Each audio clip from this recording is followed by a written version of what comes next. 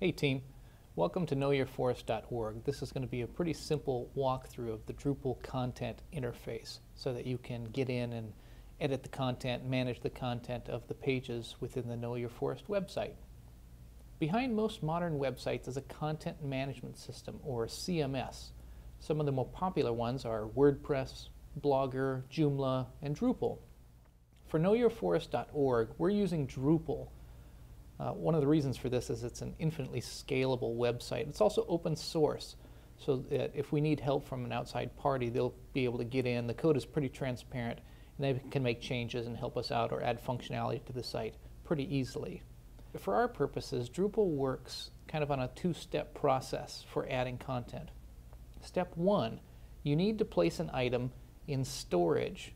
That could be an image, a publication, a link, anything. Once that item is in storage, then step two, you call it out of storage whenever and wherever you want it. The reason Drupal does this is for efficiency of duplication. If I name an item, say I add a PDF, I name it, I describe it, associate any information with it into the storage library, then I can call that up 100 times very easily rather than inputting code or loading up a PDF each time I want to access that publication. So if you remember those steps, load it into the library and then access it from the library, then adding content to the site is going to be really easy. So let's take a look at Know Your Forest on the Drupal side of things. First thing that you need to do is log into Drupal. You'll be able to do this with the login and password information that I sent you earlier. Once you do, you'll realize there's not much changed about this site, and in fact that's true. You can access the site and navigate it just as you were on a normal browser. You can get into your events, you can access the map. It works just like the website has always worked. The only difference is this big black bar at the top and the big gray bar at the top. This is how, and in my case, it says, hello, Jordan. This is how it indicates that it's in the Drupal content management system, that you're logged in and now you can make changes to the site. Now this black bar, that's really the gears of the site, and I hesitate getting in there at all. Um, that's something that can really add functionality to the site, but it can muck it up pretty quickly as well. The gray bar is where we'll be making our edits. This is where you can really access and change the content of the site. So let's look at the gray bar a little bit. I have add content, find content, edit current page, and edit profile. I don't know if everybody has edit profile. That just may be a function of the uh, administrative role of the site. But the other three is how we'll be accessing the site and getting into adding content as well as editing content. So first thing, let's take a look at the second option, find content.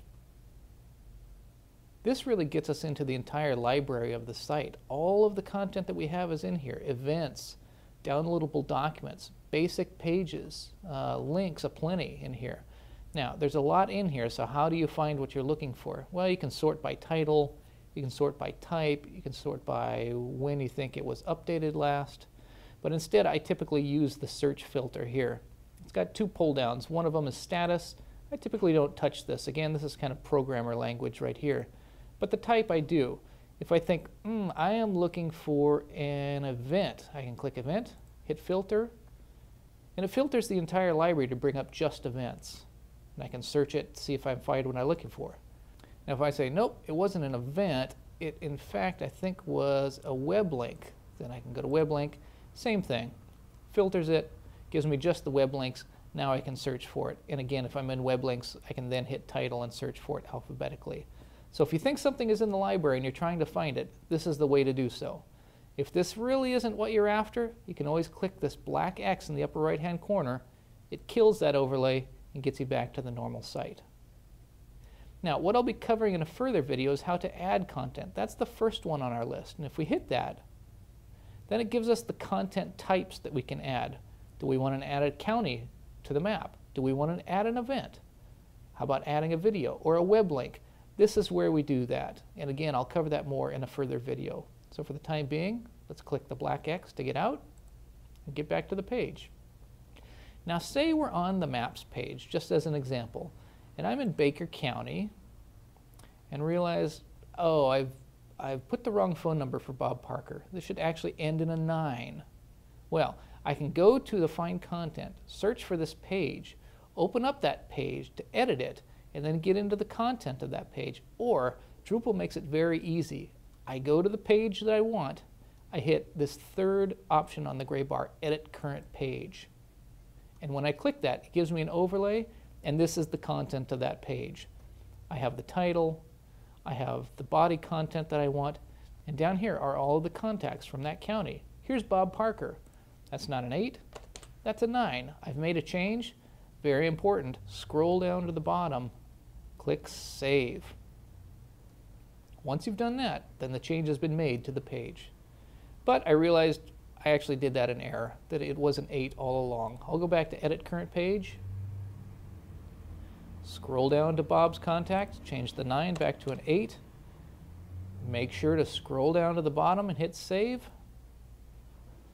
And when I do that, the content has been updated and everything is back to normal. So the black bar and the gray bar are really your access into Drupal. Everything else we'll cover in the next couple of videos of how to add video, how to add publications, and how to access those when you need to add them to the site.